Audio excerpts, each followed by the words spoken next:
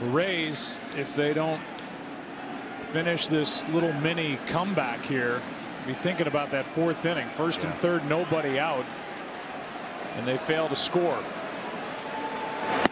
Muncy takes a ball. Little pop up by Wendle, a strikeout of Adames, and then caught stealing Margot. It's about the third at bat where Muncy gets a little more aggressive than he does early. He's seen every pitch that he can throw.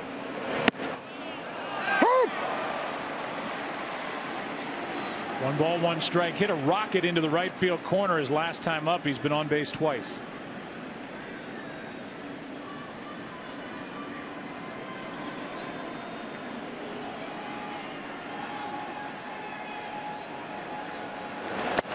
You know what's amazing about Max Muncy, and I'm sure it's happened. We don't watch every game. I can't remember too many times seeing him ever break his back. And that's a credit to him not expanding the zone and not getting caught off balance. But There's a 2-1. Do you know when the last unsuccessful steal of home attempt happened in World Series play? I had, um, if you're asking me, I had to be there. You were there. You were on the mound. Three balls and a strike. Muncy fouls it away. Game four, the twins Shane Mack in 91 in the fourth inning. Really? Really?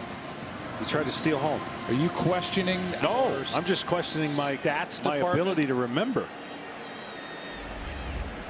And the whole crew. There you go. There. Look at that. The whole crew at Sportradar. Huh, I mean, you were there.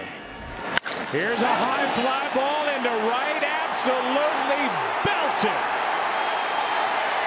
Muncy points at his dugout and will take the trot. Dodgers lead four to two here in the fifth.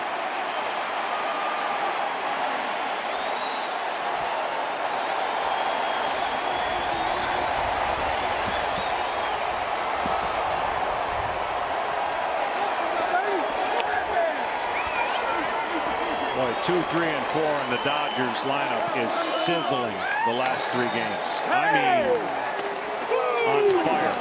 For Muncy, that is his third postseason home run this year, his first World Series home run. And the Dodgers now set a record with nine different players with a home run. And we're only in game five. Renfroe didn't even move out in right. For all you young broadcasters out there, when an outfielder doesn't move, good chance it's a home run.